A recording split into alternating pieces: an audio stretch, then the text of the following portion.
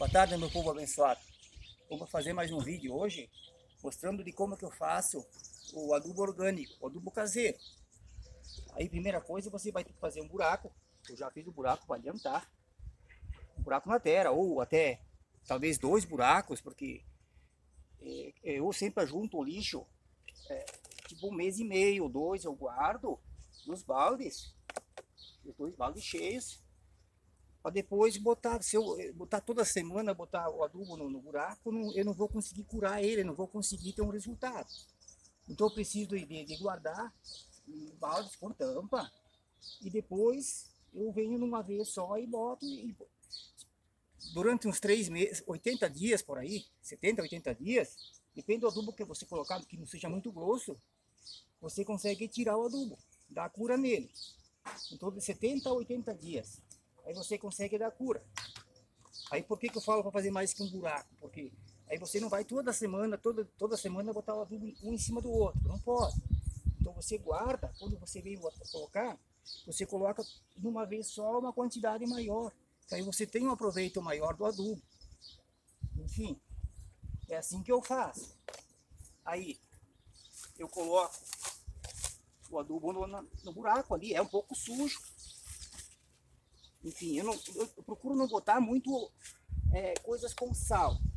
Sal forte, por exemplo, eu não boto, porque aí vai, vai, vai tirar o pH da terra, não vai ficar legal.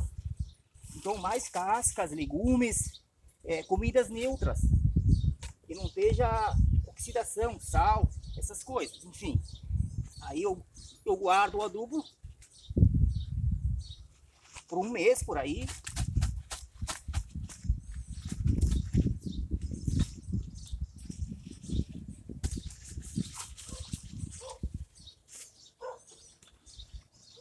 Boto no buraco. Cada camada que eu colocar,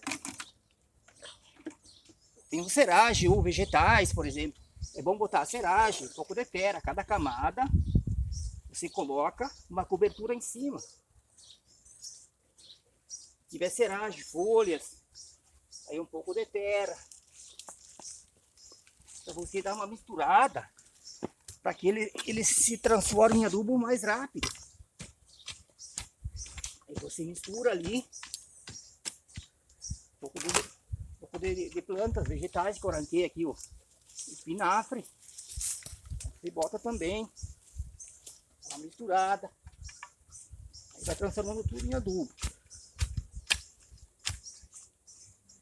Como eu falei, eu guardo os dois baldes, vou guardando. Aí, ó. Tudo que você tiver, cascas, ó. Quanto mais fino você casca de ovo, quanto mais fino for, mais rápido vai se decompor. Menos tempo vai precisar para você ter o adubo, o resultado.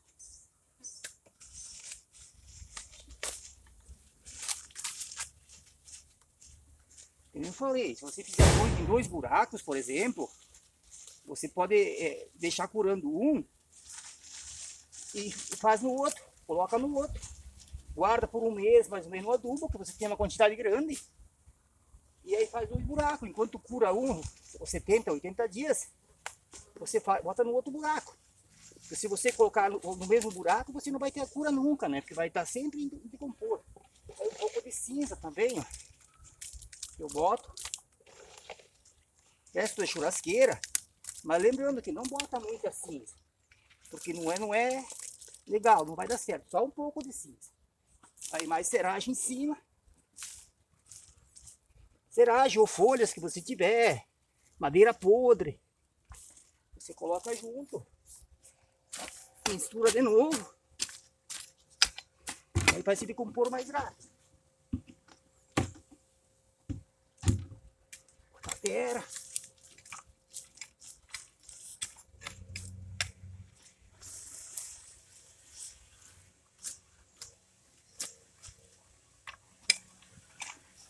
Se cobre com a terra, a madeira podre.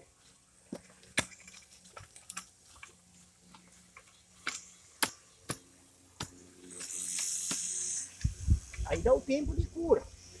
É em torno de 70 80 dias. Depende a, a grossura que você botar, o alimento mais pesado, mais, mais picado. ele vai se decompor mais rápido. Tudo é assim.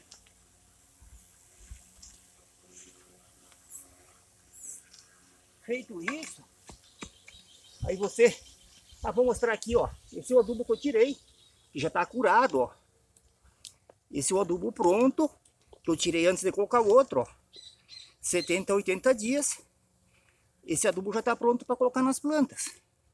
Aí você pode deixar secar mais, ou pode usar assim, que ele já está curado. Esse é o adubo pronto. É ótimo, eu só uso adubo orgânico.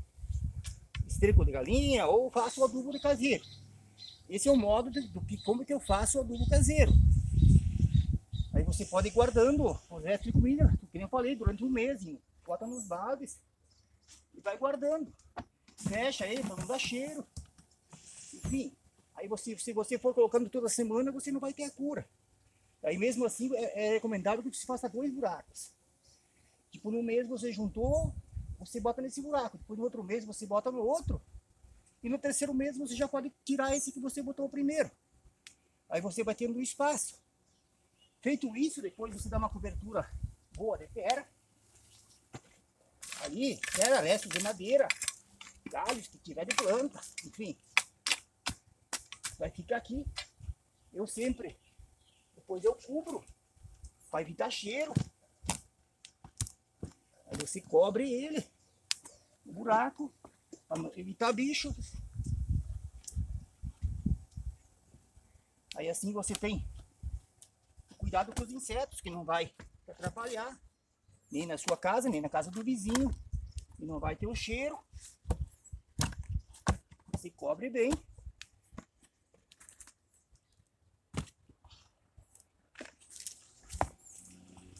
Aí só dá o tempo. Tempo de cura dele. E depois usar. Tirar e usar nas plantas.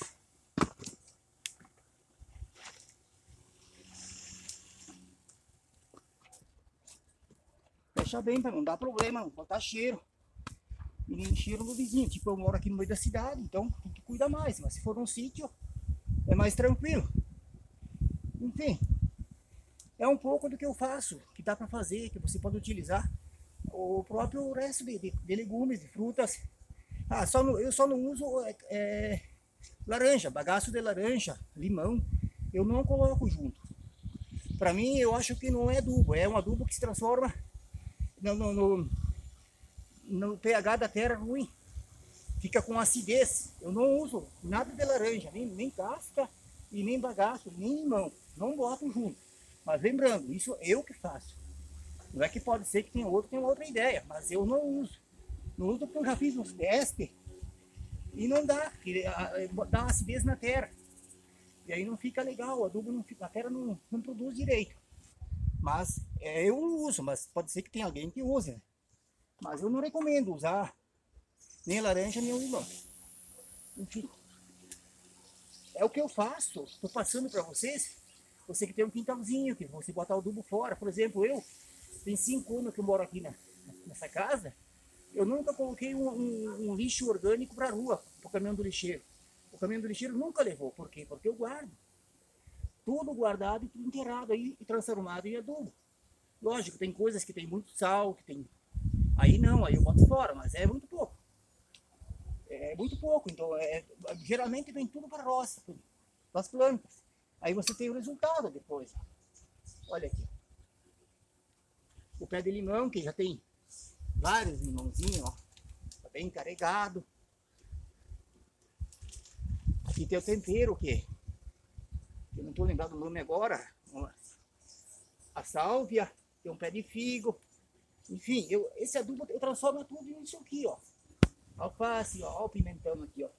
Tá com uma carguinha aqui, o tomate, enfim, esse, esse adubo da casa que ia pro lixo, ia embora, ele fica tudo aqui. E tudo é, é utilizado e botado nas plantas. É só dar o tempo de cura certo e trabalhar aqui. Eu disse, faz dois buracos para garantir, ou até três, se você quer botar antes, tem, gera mais adubo. Enfim, aí se gera mais adubo, você pode botar mais, é, juntar mais vasos. Se for dois vasos, você bota três vasos e vai guardando. Guarda uma quantidade grande, eu recomendo, porque é melhor quando você faz, faz uma quantia maior E depois, quando você vai colher esse adubo, vai pegar uma quantia maior, vai ter mais utilidade. Então é assim que eu faço. Se você fizer dois ou três buracos, uma vez só você bota nenhum. Lembrando que precisa de 70, 80 dias, depende o, o material que for dentro. A decomposição dele depende do que você botar dentro. Mais grosso, mais picado, vai mais, mais rápido. Enfim, aí você tem a cura. Quando você tem um, você bota no outro buraco, no outro mês. E assim você vai fazendo contínuo. É isso aí. Fiz esse vídeo para mostrar para vocês como que dá para utilizar o adubo, que você não, não precisa perder o adubo. O que você, você usa em casa, os legumes, cascas, restos de comida, você pode transformar em adubo.